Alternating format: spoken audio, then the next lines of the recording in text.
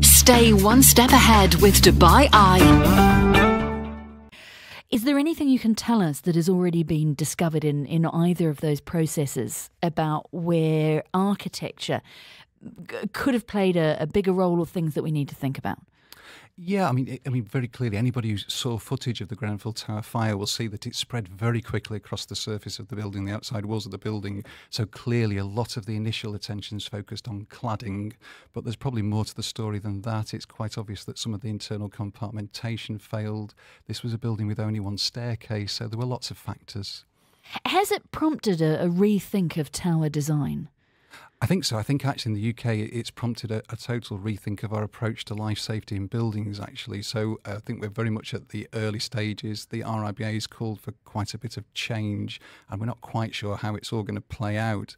I think it's also flagged up that in an increasingly globalised construction industry, there's really a need for more international standards. Um, there's quite a lot of difference between different countries, and certainly in the UK, we've had some confusion over what I might call equivalency. You know, we have British standards and European norms, and which ones applied.